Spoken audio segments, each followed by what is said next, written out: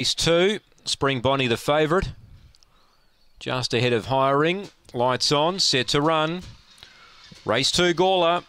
They're ready away, and hiring began well. So did Spring Bonnie. The favourites are one, two. Gypsy Boy a length away third, and they pulled two lengths on Vinny Rumbling and Turazara. Hiring the outside really lays it down and takes a narrow lead.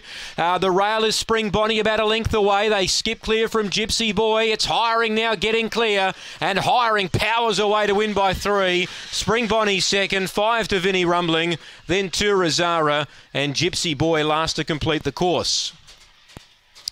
Seven hiring for Jack Trengove, the winner.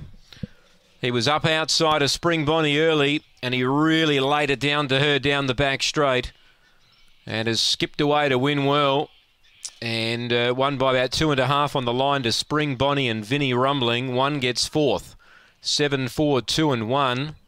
Uh, 22.84 the gallop here. First section of 8.74. And the run home was clocked in 14.10. 7 4 2 1, race two.